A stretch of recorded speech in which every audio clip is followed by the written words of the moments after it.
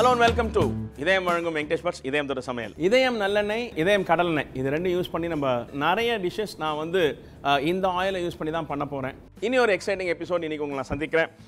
நிறைய பேர் என்கிட்ட கேட்டிருக்கிறது வந்து இந்த ரோட் சைட் சால்னா இந்த பரோட்டா கூட போட்டு சாப்பிட்றதுக்கு ஆக்சுவலி வந்து நான்வெஜ் இல்லாமல் கறியே போடாமல் ஒரு நான்வெஜ் ஃபீல் கொடுக்குற ஒரு ஒரு டிஷ் இது. ஆனால் வந்து பரோட்டாக்கும் இடியாப்பத்துக்கும் ஃபென்டாஸ்டிக்காக இருக்குது செஞ்சு சாப்பிட்டுட்டு அதுக்கப்புறமா நான் வந்து சரி இதை செய்யலாம் அப்படின்ற கான்ஃபிடன்ஸ் வந்தது வந்து ரொம்ப ரீசெண்டாக தான் நான் இதை டேஸ்ட் பண்ணேன். பட் நம்ம ஹோட்டல்லலாம் வந்து குருமான்னு ஒன்று பண்ணுவோம் வடகரின்னு ஒன்று பண்ணுவோம். இவனுக்கு ரெண்டு பேருக்கு நடுவில் இருக்கிறவன் இந்த சால்னா. இந்த எம்டி சால்னா வந்து நோ வெஜிடபிள்ஸ் நோ மீட் ஆனால் ஒரு ஒரு ஃபேண்டாஸ்டிக் சைட் டிஷ் ரொம்ப நல்லா இருக்குது கீ ரைஸுக்கு இடியாப்பத்துக்கு பரோட்டாக்கு ரொம்ப நல்லா அதே மாதிரி பூரி தோசை கல் தோசை மாதிரி எதாவது இருந்ததுன்னா கொஞ்சம் கனமாக இருக்கிற தோசை தான் அது கூட இந்த சால்னா ரொம்ப நல்லாயிருக்கும். இந்த எம்டி சால்னா நிறைய பேர் என்கிட்ட கேட்டிருக்கீங்க. அது எப்படி பண்ணுறதுன்னு பார்ப்போம். அடுப்பை பற்ற வச்சு ஒரு திக் பாட்டம் பேன் அதாவது கனமாக இருக்கிற ஒரு அடிப்பகுதி இருக்கிற ஒரு பேன் அந்த பேனை வச்சு சூடு பண்ணிவிடுங்க மந்த்ரா கடலெண்ணெய் வச்சுருக்கேன். அது ஒரு மூணு டேபிள் ஸ்பூன் மந்த்ரா கடலெண்ணெய் மூணு டேபிள் ஸ்பூன் போட்டிருக்கேன். இந்த ஆயில் சூடாகட்டும். இங்கே ஒரு மூடி தேங்காய் துருவி வச்சுருக்கேன்.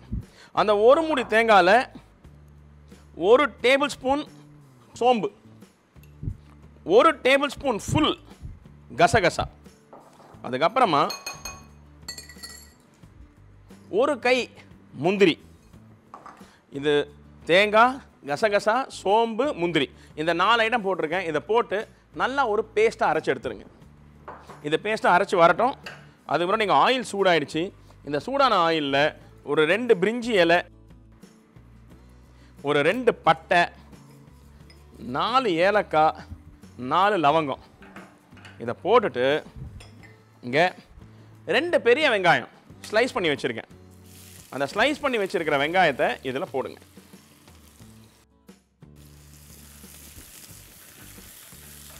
இது வந்து நல்ல கோல்டன் ப்ரௌன் கலர் வரணும். இந்த வெங்காயம் வந்து நல்லா குக் ஆகணும். சாப்பிடும்போது இந்த வெங்காயம் தக்காளி வந்து ஆன அளவுக்கு வயலில் பீஸ் பீஸாக கிடைக்கக்கூடாது. அங்கங்கே தெரியாத மாதிரி ஒன்று வந்தால் ஓகே. அந்த அளவுக்கு இது நல்லா ஃபைனாக குக் ஆகணும்.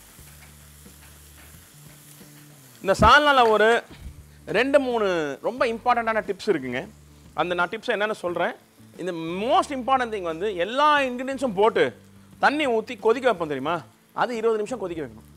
எல்லா இன்க்ரீடியன்ஸ் போட்டுடணும் அரைச்ச பேஸ்ட் போட்டுடணும் தக்காளி வெங்காயம் வதக்கி அந்த பேஸ்ட் போட்டு கடலை மாவு போட போகிறோம் கடலை மாவு கலைச்சி ஊற்றி எல்லாம் பண்ணிவிட்டு இது வந்து தண்ணி ஊற்றி இருபது நிமிஷம் கண்டிப்பாக பாயில் ஆகணும். அது வந்து மோஸ்ட் இம்பார்ட்டன்ட் டிப் அதை ஃபாலோ பண்ணுங்கள் ஏன்னா எல்லாம் எங்கன்னு போட்டு அந்த இருபது நிமிஷம் வே வேகுது இல்லைங்களா?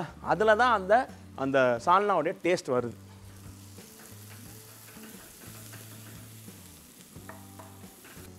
இந்த வெங்காயம் வதங்குது. நல்ல கோல்டன் ப்ரௌன் கலர் வரணும். அந்த கோல்டன் ப்ரௌன் கலர் வர்றது கொஞ்சம் சீக்கிரமாக ஆகணும்னா கொஞ்சம் உப்பு போட்டுங்க ஒரு சிட்டிக்கு உப்பு இப்போதைக்கு போட்டுங்க அது வெங்காயம் சீக்கிரமாக கோல்டன் ப்ரௌன் ஆகும்.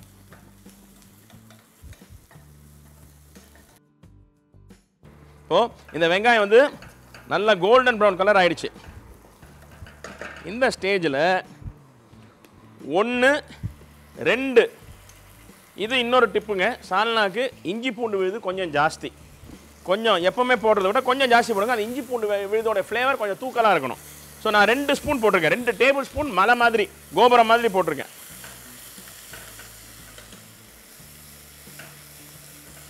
இந்த இஞ்சி பூண்டு விழுது பச்சை ஸ்மெல் போகிற வரைக்கும் இதை நல்லா குக் பண்ணுங்க.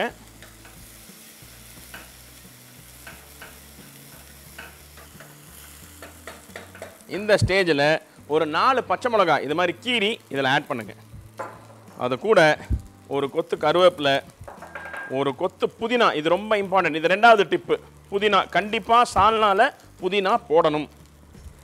புதினா கொஞ்சம் கொத்தமல்லி. அதுக்கப்புறமா இதை சும்மா இப்படி ஒரு கிண்டு கிண்டிட்டு இங்கே ரெண்டு தக்காளி பழம் ஸ்லைஸ் பண்ணி வச்சுருக்கேன் அதை போடுங்க.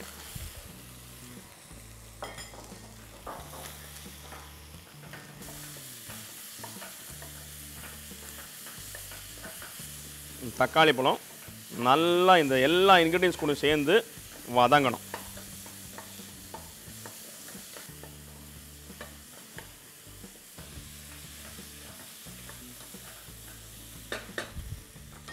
இப்போ இந்த ஸ்டேஜில் ஒரு அரை டீஸ்பூன் மஞ்சள் தூள் ஒரு ஒரு ஒன்றரை டீஸ்பூன் தெகி மிர்ச் அதாவது அந்த சில்லி பவுடர் அந்த காஷ்மீரி சில்லி பவுடர் ஒன்றரை ஸ்பூன் ஒரு ஒரு டேபிள் ஸ்பூன் தனியாத்தூள் அதுக்கப்புறமா ஒரு அரை ஸ்பூன் கரம் மசாலா பொடி.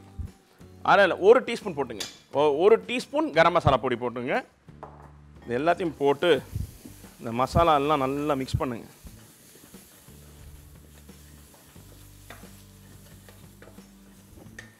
இப்போது இந்த சால்னாக்கு தேவையான உப்பு.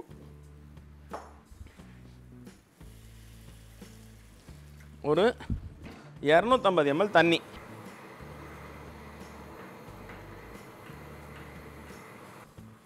இந்த தண்ணியை ஊற்றி ஒரு அஞ்சு நிமிஷம் இது வேகணும். எதுக்குன்னா அந்த பச்சை மசாலாஸ் எல்லாம் ஃப்ளேவர்ஸ் எல்லாம் வந்து அரோமாவாக மாறணும்.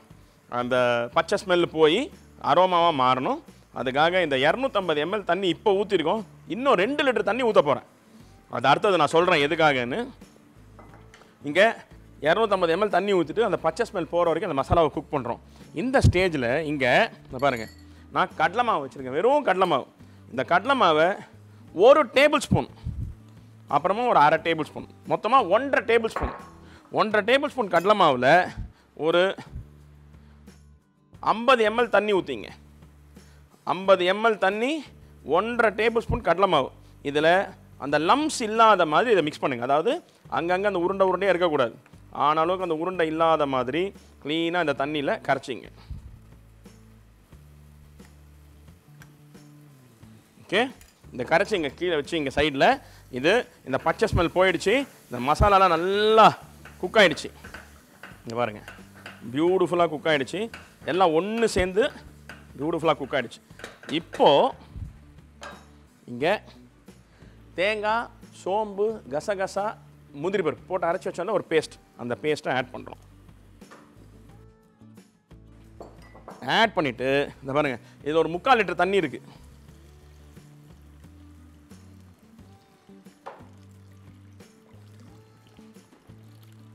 முக்கால் லிட்டர் தண்ணி ஊற்றிட்டேன் ஊற்றி இந்த தேங்காய் பேஸ்ட்டு அது ஏற்கனவே கொதிச்சுக்கிட்டு இருந்த வெங்காயம் தக்காளி மசாலா அந்த மிளகா பொடி மஞ்சத்தூள் கரம் மசாலா பொடி அதெல்லாம் தனியாத்தூள் இதெல்லாம் ஒன்று சேர பாருங்க அப்படியே குக் ஆகணும்.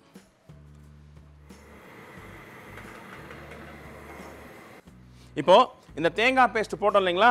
தேங்காய் கேஷ்யூ நட்டு கசகச சோம்பு போட்டு இதை பாருங்கள் இது மாதிரி கொதி வந்துருச்சு. இந்த கொதி வந்த உடனே இங்கே நம்ம கரைச்சி வச்சிருக்கிற அந்த ஒன்றரை ஸ்பூன் கடலை மாவு இருக்குல்ல அதை இதில் கொட்டுங்க. இது இன்னொரு டிப்பு இது ரொம்ப ரொம்ப இம்பார்ட்டண்ட் இந்த சால்னா எம்டி சால்னாக்கு பரோட்டா கடையில் பண்ணுற சால்னானா இந்த கடலை மாவு ரொம்ப இம்பார்ட்டண்ட் இதுக்கு அடுத்தது இன்னும் ரொம்ப இம்பார்ட்டன்ட் டிப் இருக்குது இந்த ஸ்டேஜில் சிக்கன் மசாலான்னு ஒரு பவுடர் வருது. அதில் கோழி கிடையாது. அது வந்து கரம் மசாலையில் சிக்கன் குருமா எல்லாம் பண்ணுறதுக்கு ஒரு மசாலா வச்சுருக்காங்க. அதில் நிறைய அன்னாசி பூ மராத்தி மொக்கு கல்பாசி இதெல்லாம் போட்டு ஒரு பவுடர் பண்ணுவாங்க. அது நிறைய விஷயம் இருக்குது அதில். அந்த மசாலா வந்து அந்த சிக்கன் மசாலா சிக்கன் கிரேவிக்கு போடுவாங்க. அதை ஒரு ஸ்பூன் இதில் போடணும். அது போட்டால் ஹண்ட்ரட் பர்சன்ட் ரோடு சைடுக்கு சாலலாம் இது. அது போடாட்டி நல்லா தான் இருக்கும். பட் அந்த அந்த நான் வெஜிடேரியன் ஃப்ளேவர் சாப்பிட்றவங்களுக்கு அந்த சிக்கன் மசாலா போட்டால் ரொம்ப நல்லா இருக்கும் வெஜிடேரியன் சாப்பிட்றவங்களுக்கு இது ரொம்ப நல்லா இருக்கும் இந்த கடலை மாவு போட்டு உடனே அது திக்காகும். இந்த ஸ்டேஜில் அரைலேருந்து முக்கால் லிட்டர் தண்ணி. இதை பாருங்கள் நான் அப்படியே கொட்டுறேன் பாருங்கள் தண்ணியை. இன்னொரு முக்கால் லிட்டர் தண்ணி. முதல்ல ஒரு முக்கால் லிட்டர் போட்டேன் இப்போ ஒரு முக்கால் லிட்டர் போடுறேன். மொத்தமாக ஒன்றரை ரெண்டு லிட்டரு. அது முதல்ல ஒரு இரநூத்தம்பது எம்எல் போட்டேன். மிளகா பொடியெல்லாம் போட்டோன்னு ஸோ இந்த கடலை மாவு போட்ட உடனே இன்னும் ஒரு முக்கால் லிட்டர் தண்ணி ஊற்றி கேஸை மீடியம் ஸ்லோவில் வச்சு இதை அடுத்த பதினஞ்சு நிமிஷத்துக்கு கொதிக்க வைக்கணும். இது கொதிக்க கொதிக்க தான் டேஸ்ட்டுங்க. சால்னா முடிஞ்சு போச்சு. ரெசிபி ரெடி இதை அடுத்த பதினஞ்சு நிமிஷம் கொதித்த பிறகு மேலே வந்து லைட்டாக மிளகாத்தூளில் மிக்ஸ் ஆன ஆயில் கொஞ்சம் மிதக்கும். அதுதான் மேட்ரே இந்த இதோ தண்ணி உப்பு அந்த சீசனிங் எல்லாம் பார்த்தாச்சு. இப்போது இதை ஒரு மூடி வச்சு இதை மூடிடுங்க. மூடி exactly fifteen to twenty minutes பதினஞ்சுலேருந்து இருபது நிமிஷம் ஸ்லோ ஃப்ளேமில் வச்சு இதை கொதிக்க விடுங்க. பதினஞ்சு இருபது நிமிஷத்துக்கு அப்புறம் நம்ம திறந்து பார்ப்போம் எப்படி இருக்கு பார்க்கலாம் இது வந்து நான் மூடி போட்டு கிட்டத்தட்ட பதினஞ்சு நிமிஷம் நல்லா குக் பண்ணிட்டேங்க. இதை பாருங்கள் மூடி ஃபுல்லாக ஸ்ப்ளாஷ் ஆகிருக்கு நல்லா பதினஞ்சு நிமிஷம் குக் ஆகிடுச்சு வா பியூட்டிஃபுல் இந்த திக்னஸ் பார்த்தீங்களா? இது ரொம்ப தண்ணியும் இல்லை திக்கும் இல்லை. அந்த ஸ்டேஜில் இதை பாருங்கள் இந்த கன்சிஸ்டன்சி பாருங்கள் இதுதான் எம்டி சால்னாவோட கன்சிஸ்டன்சி சாம்பார் மாதிரியும் இல்லை குருமா மாதிரியும் இல்லை. அந்த கன்சிஸ்டன்சி இருக்கிறது தான் எம்டி சால்னா. மேலே பாருங்கள் நம்ம போட்ட அந்த மிளகாத்தூள் மஞ்சத்தூள் அந்த எண்ணெயோடு சேர்ந்து மேலே இது மாதிரி மிதக்கணும். இந்த ஸ்டேஜ் வந்ததுன்னா இந்த சால்னா வெந்துருச்சுன்னு அர்த்தம். இந்த ஸ்டேஜில் இவன் தலையில் ஒரு கொத்து கொத்தமல்லியை போட்டு கேஸை ஆஃப் பண்ணிடுங்க. இவனை இது மாதிரி குபீர்னு மூடி வச்சிருங்க அவ்வளோதான் ஒரு பத்து நிமிஷம் கொத்தமல்லி வந்து அப்படியே மெர்ஜ் ஆகிடுவான் அந்த சால்னா கூட. மெர்ஜ் ஆகி ஒரு பயங்கரமான ஃப்ளேவர் கொடுப்பான். அந்த fifth ten minutes five to ten minutes அவன் அப்படியே மூடி வச்சுருங்க. அதுக்கப்புறமா ஓப்பன் பண்ணி ஒரு பவுலில் சர்வ் பண்ணலாம். இதோ நீங்கள் பாருங்கள் சும்மா நம்ம ஆல்ரெடி இதயம் தொட்ட சமையலில் வீச்சு பரோட்டா பண்ணோம். வீச்சு பரோட்டா. இப்போ அந்த கொத்தமல்லியை போட்டு மூடி வச்சிருக்க அஞ்சு நிமிஷம். இங்கே நம்ம ஆல்ரெடி இதயம் தொட்ட சமையலில் வீச்சு பரோட்டா பண்ணோம். இது மாதிரி தட்டி ஒரு ரெண்டு பரோட்டா. அவனை வைங்க. இந்த போலை அப்படி கையில் போடுங்க. போட்டு அவனை ஓப்பன் பண்ணுங்க. பாருங்கள் போட்ட கொத்தமல்லி அப்படியே ஃப்ரெண்ட்ஷிப்பாக அப்படியே சேர்ந்து மிதகிறான் இவனை அடியிலேருந்து கலக்கி ஒன்று ரெண்டு மூணு. போட்டு இந்த பரோட்டா கூட கொடுத்தீங்கன்னா செத்தாண்டா சேகர். அல்டிமேட்டாக இருக்கும். அதாவது நான் இங்கே வந்து ரொம்ப டீசெண்டாக டீஜென்ட்டாக இது வந்து போலில் போட்டு வச்சுருக்கிறேன். இதை இப்படி போடக்கூடாது ஆக்சுவலாக இவனை தூக்கி இவன் மண்டை மேலே ஊற்றணும் இந்த நாலு கரண்டி இவன் மண்டை மேலே ஊற்றினோன்னு இவன் தண்ணியாக இருக்கான்ல அப்படியே கபால்னு ஊற ஆரம்பிப்பான் பரோட்டாவில் அது ஊறி இருக்கும்போதே ஊறி முடிக்கிறதுக்குள்ளே சாப்பிட முடிக்கணும். அது மாதிரி சாப்பிட்ணும். பரோட்டா சால்னான்னா ஸோ அது மாதிரி அந்த மேலே ஊற்றி எனக்கு வாயில் தனியாக வருது. அந்த மாதிரி ஒரு ஃப்ளேவர் ரொம்ப ரொம்ப ஃப்ளேவர்ஃபுல் அந்த கசகசா தேங்காய் கேஷ்யூநட் பேஸ்ட் அந்த சோம்போட ஃப்ளேவர் நம்ம போட்ட மசாலா தக்காளி வெங்காயம் இஞ்சி பூண்டு விழுது அந்த இஞ்சி பூண்டு விழுது கொஞ்சம் ஜாஸ்தியாக போட்டது. இதெல்லாம் சேர்ந்து ரணகலமாக தாறுமாறாக இருப்பான் அவன். ஸோ இவனை வந்து வீட்டில் செஞ்சு ஆளுக்கு ரெண்டு பரோட்டா வச்சு ஆளுக்கு ஒரு ரூமில் போய் சாப்பிடுங்க. எவனையும் பார்க்க விடாதீங்க. Empty சால்லாம் enjoy